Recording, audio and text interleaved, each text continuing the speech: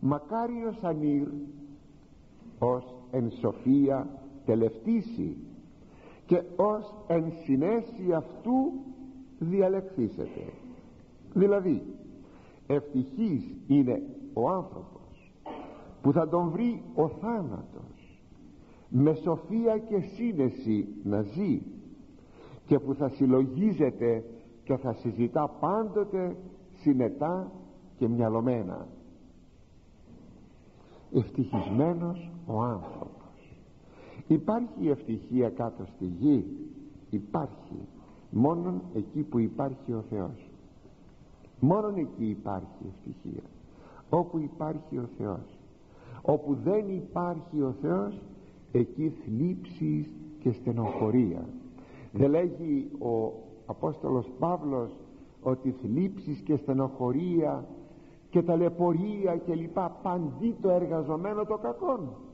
Όπως και ευτυχία και χαρά παντί το εργαζομένο το αγαθόν. Έτσι βλέπετε ότι η ευτυχία είναι μόνο σε εκείνους οι οποίοι σκέπτονται απλά σκέπτονται κατά Θεόν ζουν κατά Θεόν και είναι μέσα στη χάρη του Αγίου, στο χώρο και στη χάρη του Αγίου Πνεύματος βέβαια ευτυχισμένος ο άνθρωπος που ζει μέσα στους χώρους της σοφίας όχι βέβαια ε, σε εκείνους τους μειοπικούς ανθρώπους που ζουν μέσα στους σκοτεινούς χώρους του πλούτου και της φιλοχρηματίας και γενικότερα της αμαρτίας. Ενώ ο άνθρωπος του Θεού ο άνθρωπος που αναπνέει την σοφία του Θεού. Αυτός ζει ελεύθερα ευχάριστα άνετα.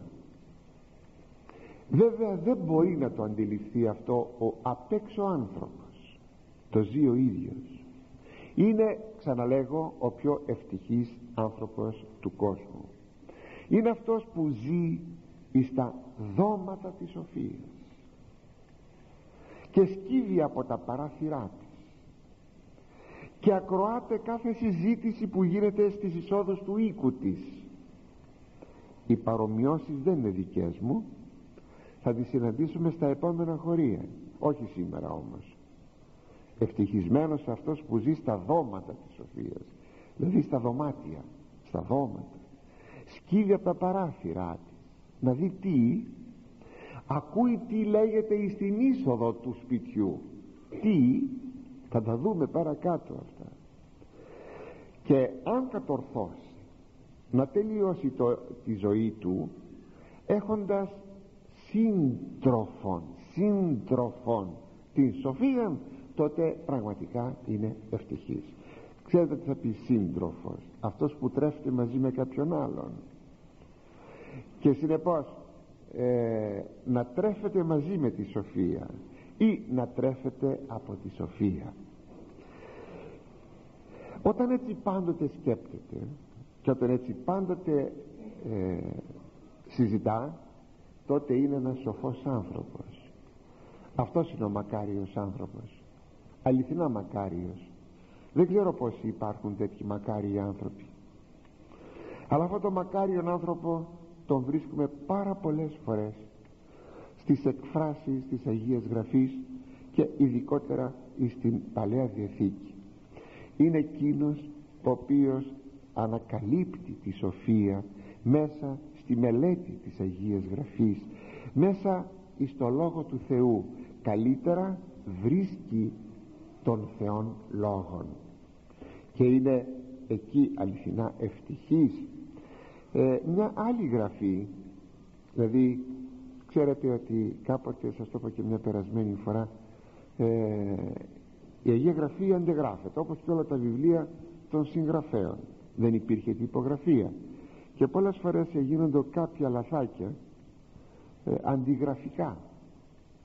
Σήμερα έχουμε την δυνατότητα να τα βάλουμε παράλληλα όλα και να πάρουμε την πλέον πιθανή περίπτωση και αυτό λέγεται κριτική έκδοση του κειμένου. Όταν έχουμε περισσότερα του ενός και βέβαια στην Αγία Γραφή ε, έχουμε πάμπολα κείμενα γιατί πάμπολα έχουν σωθεί. Ε, έτσι μια άλλη γραφή με αυτή την έννοια που σας είπα και πιθανώς να είναι και αυθεντικοτέρα πιθανώς αντί του τελευτήσει δηλαδή μακάριος αυτός που θα πεθάνει εν σοφία λέει μελετήσει ευτυχής αυτός που θα είναι στη μελέτη της σοφίας. Με αυτή τη δεύτερη έκφραση μας πληροφορεί η Αγία Γραφή τα εξής στοιχεία. Πρώτα πρώτα μας λέει μακάριος ανήρ ευτυχισμένος ο άνθρωπος ξέρετε η λέξη ανήρ δεν αποκλείει την περίπτωση της γυναικός θα το μεταφράζαμε έτσι. Ε, ευτυχισμένος ο άνθρωπος όχι ευτυχισμένος ο άνδρας ευτυχισμένος ο άνθρωπος. Συνεπώς η ανήρ θα πει άνθρωπος.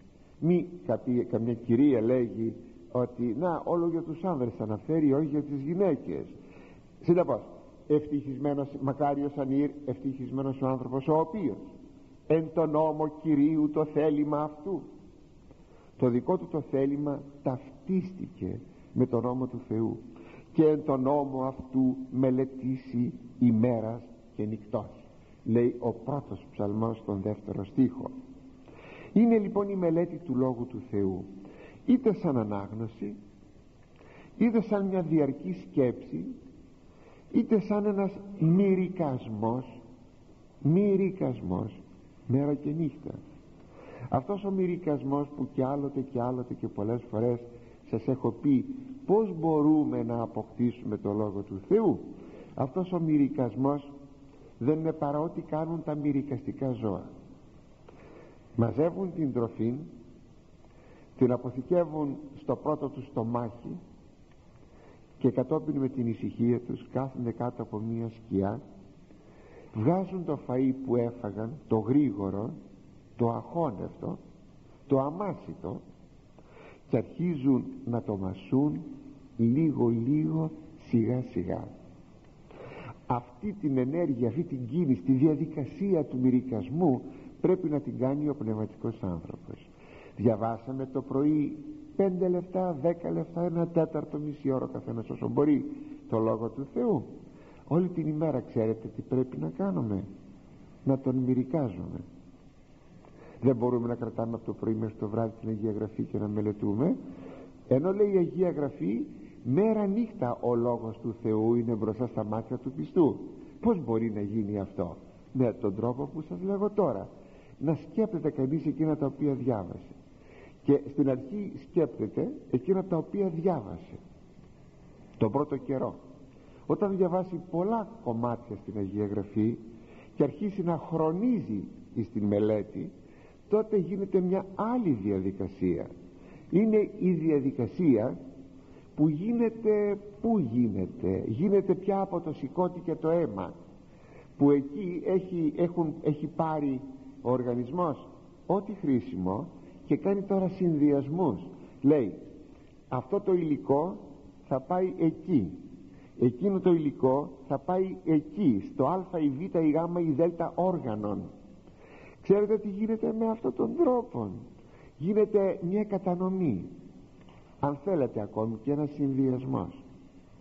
έτσι ο πιστός όταν μελετάει ύστερα από κάποιο καιρό αρχίζει να συνδυάζει εκείνο που διαβάζει σήμερα με εκείνο που διάβασε χθες προχθές του πέρσι και έτσι ε, δημιουργεί ένα πλέγμα που μπορεί κατά κάποιο τρόπο αν θέλει κάτι να πηγαίνει στα ομοειδή και να καταλαβαίνει πολύ καλά το Λόγο του Θεού. Πολύ καλά. Αυτό το έχουμε δει στους πατέρες της Εκκλησίας μας που μελετούσαν πολύ έντονα το Λόγο του Θεού. Αν θέλετε όμως μπορείτε να το δείτε ίσως κατεξοχήν ή στον κατά θαυμαστόν τρόπο ναι, να, να βγείτε από, από τον εαυτό σας πόσο θαυμαστός είναι ο τρόπος αυτός ή στον Οριγένη όταν έπιανε να πει κάτι εγνώριζε τη γραφή απ' έξω και έβρισκε τα συγγενή χωρία. Εκείνα που σήμερα θα βρίσκαμε με ένα ταμείο της Αγίας Γραφής. Ταμείο είναι ένα ειδικό βιβλίο που έχει μαζεμένες εκεί τις οικίες λέξεις. Καταπληκτικό! Αυτό είναι ένα σπουδαίο στάδιο όταν μπορεί κανείς να κάνει αυτούς τους συνδυασμούς. Αλλά και τότε καταλαβαίνει πάρα πολύ καλά τα νοήματα της γραφής. Και τότε δεν υπάρχει εύκολα ο κίνδυνος και να πλανηθεί διότι η έννοια μιας λέξεως κατανοείται όταν δούμε αυτήν την ίδια λέξη σε πολλά σημεία της Αγίας Γραφής. Θα το έλεγα αυτό το πράγμα με ένα παιχνίδι που υπάρχει το πουλάνε στα χαρτοπολία. Επάνω σε ένα κόντρα πλακέ ή χοντρότερο σανίδι ε, ο κατασκευαστής κολλάει μια εικόνα. Πιάνει μετά και την κόβει ανομάλως. Αυτή σε μικρά κομμάτια. Ανομάλως δηλαδή όχι τετράγωνα και στρογγυλάκια και λοιπά. Και τα ανακατεύει μετά αυτά. Στο κουτί μέσα σου τα πουλάει. Το παιδί κάθεται τώρα στο σπίτι να βρει άκρια με εκείνα τα κομμάτια να τα συνδυάσει καταλήλως και έτσι να βρει και να αναπαραγάγει την κομμένη εικόνα. Έτσι είναι η Αγία Γραφή. Είναι μια εικόνα σπασμένη σε πολλά κομμάτια. Αν τη μελετάς τότε θα προσαρμόσεις αυτά τα κομμάτια και θα βρεις την εικόνα.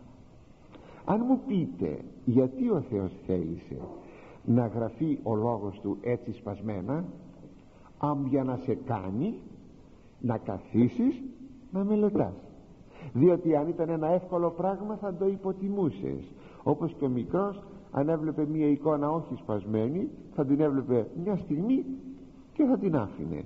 Τώρα όμως κάθεται να συνδέσει τα κομμάτια για να δει την εικόνα. Θα μας βάλει να δουλέψουμε. Γι' αυτό ο λόγος του Θεού είναι έτσι κομματιασμένος. Τη λέξη κομματιασμένος τη βάζω εντός εισαγωγικών γιατί δεν είναι ουσιαστικά κομματιασμένος. Είναι τεχνικά κομματιασμένος για να μπορούμε κάποτε να τον δούμε ολόκληρον.